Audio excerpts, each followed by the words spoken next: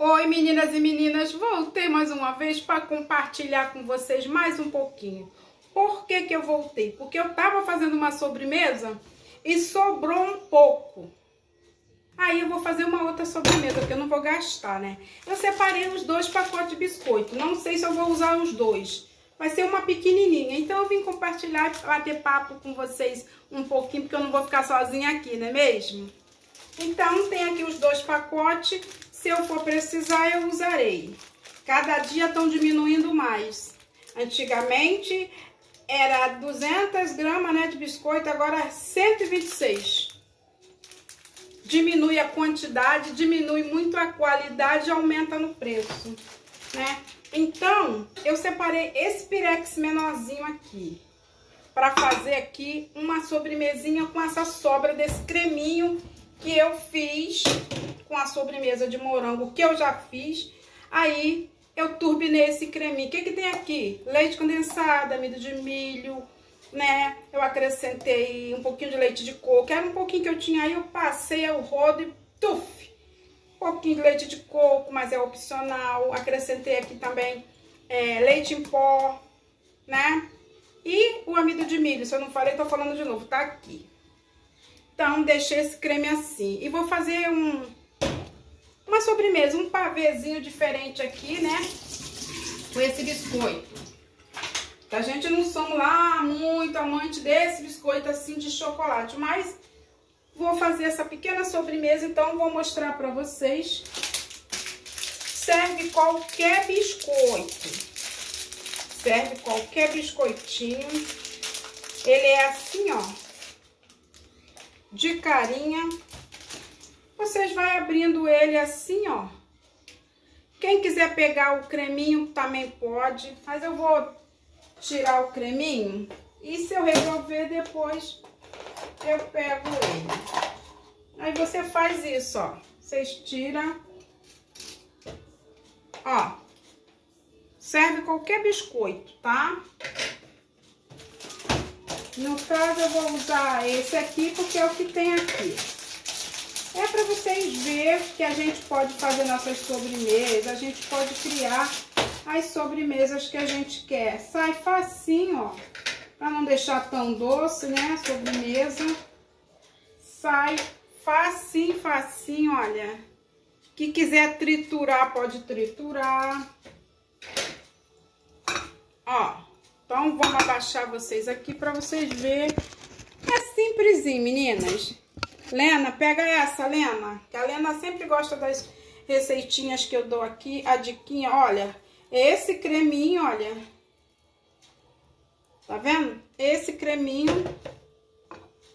Vocês podem fazer essa base de creme aqui do jeito que vocês quiserem. Leite condensado, amido de milho, creme de leite fica à vontade. Se vocês quiserem molhar o biscoito, vocês molham. Se não quiser, não molha, porque o creminho já vai dar toda, né? Olha, aqui fica um, um efeitozinho bonitinho, né? E vocês vão colocando aqui, ó. Podem afundar ele, não tem problema. É só pra vocês verem. Quiser usar o recheio, pode usar, tá? Ó. É uma sobremesa fácil e rápida. Lembrando que eu tenho dois tipos de base que eu posso fazer, né? Essa, no caso, foi ao fogo, mas eu tenho outros que não precisa nem levar ao fogo. Só bater no liquidificador, né? E dá pra vocês fazer. Na medida do possível, eu sempre faço aqui em casa pra minha família, né? E eu vou compartilhando com vocês. Ó. Só em ver as crianças já gostam, né? De ver esse efeito aqui, né?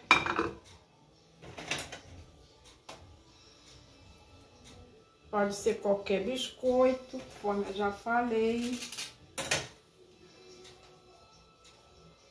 E a gente pode criar.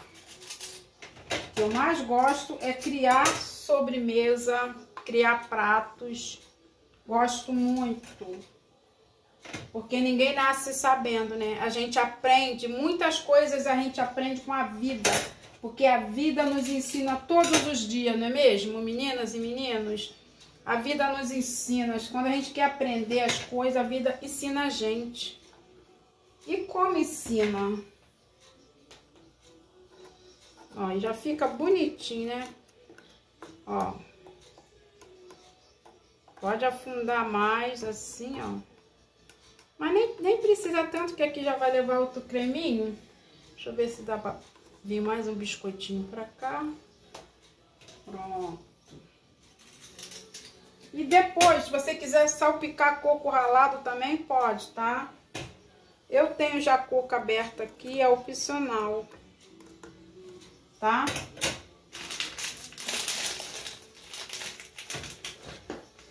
Aí vem aqui, ó.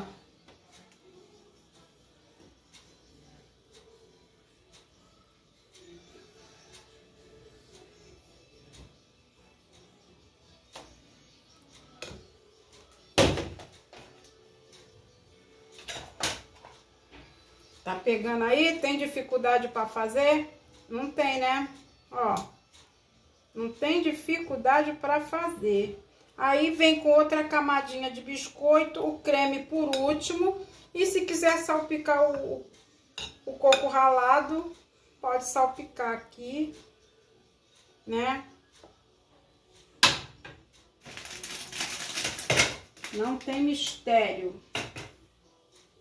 E pode deixar uns biscoitos para botar no final para enfeitar.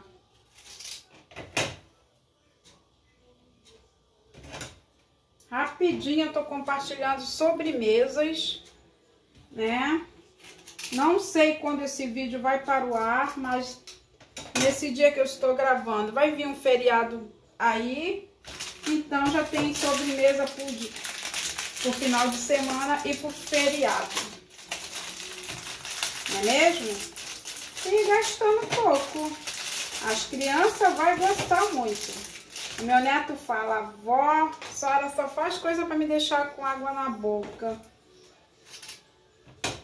Ó, tá vendo, meninas? É rápido, fácil, gostosa.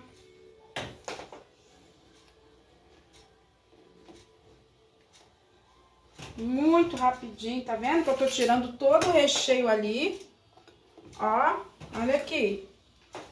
Ó, Todo o recheio. Vou até chegar mais pra cá, pra vocês acompanhando, ó. Tem dificuldade? Não tem, né? Nenhuma.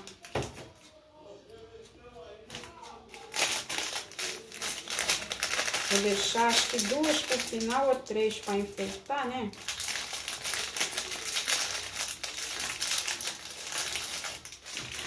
Tá vendo?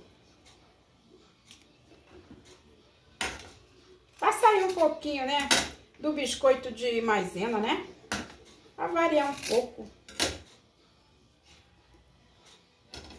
Vareia um pouco. E fica tão bonitinho, né? Olha, meninas. Vai dizer que a gente come com os olhos, né? Ó.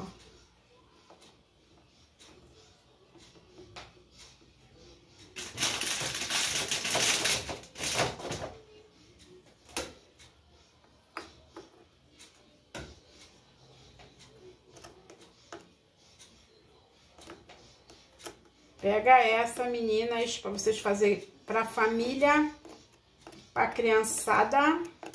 Ainda cabe mais um. Eliane Santana, fazer para Ludmila, Ludmila, Ludmila. Tá vendo? Olha. Tá vendo?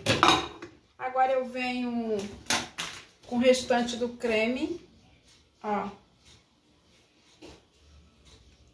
O creme tá bem lisinho, que eu bati ele no liquidificador. Esse creme, ele foi cozido, né? Foi uma base que eu fiz outra sobremesa. Sobrou um restinho, eu turbinei diferente. Ó. Pra fazer esse pavezinho aqui esse pavêzinho aqui, ó. diferente. Aqui é para enfeitar, tá? Então, vamos botar essa carinha aqui no meio para enfeitar. Vamos vou botando outra aqui. Outra aqui. Outra aqui. Tá vendo como esse pacotinho de biscoito não é nada? Com dois pacotinhos fiz essa sobremesa aqui. Não ficou pequena não, meninas. Olha. Viu? Aí agora você preenche, se vocês desejar, com coco ralado, né? Só picar um pouquinho de coco ralado. Até quebrou esse aqui. Então, vou deixar esse fora. Aí, ó pegar o coco para jogar um pouquinho aqui. Ó, para dar um charminho, né? Aí vocês vêm aqui, ó.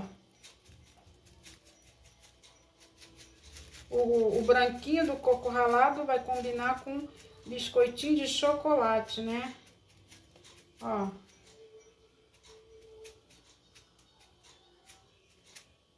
é opcional, pode, se quiser botar lá no meio, na hora que a gente tava fazendo a camada, o coco também pode. Aí é a gosto.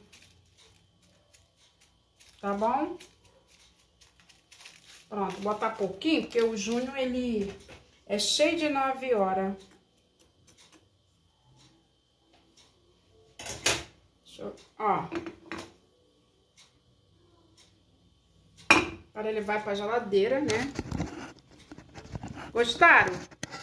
Para vocês verem que vocês podem fazer sobremesas facinho, não tem mistério, gastando pouco. Foi a base que eu fiz, que eu já fiz um vídeo para vocês, que deu para eu fazer do, duas sobremesas. Olha essa, né? Olha, ó esse pavezinho que vai pra geladeira, eu vou, né, botar um frasquinho aqui para não criar água.